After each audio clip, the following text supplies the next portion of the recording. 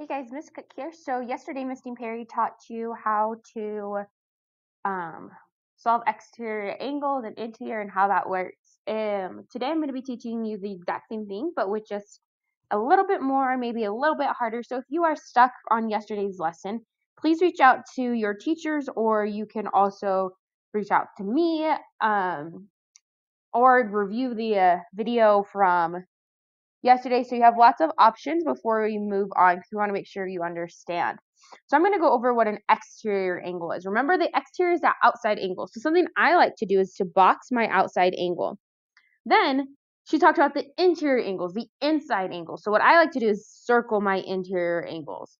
And she said that my two interior angles equals my exterior angle. So I want to set up an equation so I could solve for x. So I'm going to set up 5x plus 10 plus 58 equals 11x plus 2.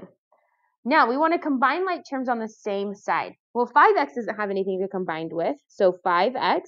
Oh, look, we have this 10 and the 8. They both combine together and we get plus 68 equals 11x plus 2. Now I'm going to put a line down the middle I'm going to create a variable island and a constant island. So I'm going to make this my variable island where I'm going to put all my x's and I'm going to make this where I put all of my numbers. So this 5x needs to be kicked over to the other side. So I'm going to do the opposite and subtract 5x from both sides.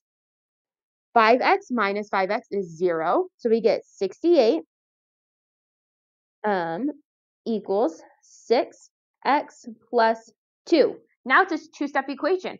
Well, that 2 needs to be kicked over, and the opposite of addition is subtraction, so subtract 2 on both sides. And we get 6x equals 66. Now think to yourself, how do I get that 6 to go away? If you're thinking division, you are right. Divide by 6, and we get x equals 11. Now, we aren't done because we need to plug it back in to find that missing angle. In your homework, you're going to have it where it's red. And if it's red, that's the angle you need to find. So we're going to plug that back in. So 11. Now instead of writing x, we're going to write this 11 times 11 plus 2. So 11 times 11 is 121 plus 2. So our answer is going to be 123 degrees. Good. Let's do one more example. So I'm going to box my exterior angle to start. Now I'm going to circle my interior. Well, I don't know what my interior are. We have several options, but remember, we want the ones that are furthest away. So the one that's touching it, we don't care about. Get rid of the 100. Circle the 2. Create your equation. So x plus 18 plus 4x plus 2 equals 6x plus 8. Whew, that's a lot. Don't let it scare you. Start with combining like terms. So this x and this x, we're going to go here and here, and we get 5x because x plus 4 is 5. Then we're going to get this 6, or sorry, this 18 and this 2, and we get 20 plus 20 equals 6x plus 8. Now, line down the middle, create those islands. I'm going to put my variables over here and my numbers here. Now I want to get rid of this 5x, so I'm going to subtract 5x from both sides, subtract 5x, and 5x is 0. On this side, I get 20 equals 1x. Do I need to write the 1?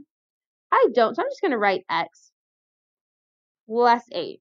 Now, last step, opposite of addition is subtraction. So subtract 8 from both sides, and you get x equals 12. Now, am I done? I hope you are saying, no, I'm not because I need to find this red angle right here. Now I'm going to rewrite it. I don't want the 12, so I'm going to plug it in. So 12 plus 18.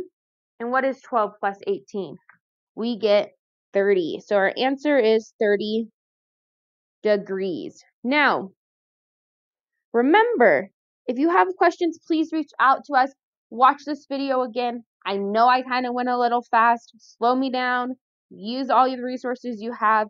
Know your teachers care about you. Know that we love you guys and know that we miss you. And if you need help, let us know. Have a great day and good luck.